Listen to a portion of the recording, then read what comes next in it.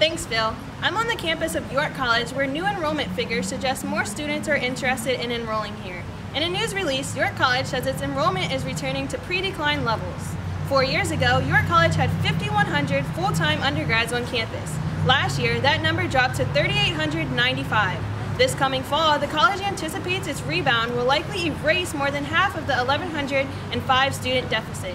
While the college will not discuss causes for why it experienced a drop in students, the release said the hiring of Dr. Danny Green as the college's new enrollment director is paying off. In the last year, the college has increased social media, billboard, and television advertising with its new From Day One campaign. The college says it will release more figures closer to the start of the fall 2017 semester, which they hope will show a steady increase. In Spring Garden Township, York College, I'm Khera Bowman, WVYC News 4.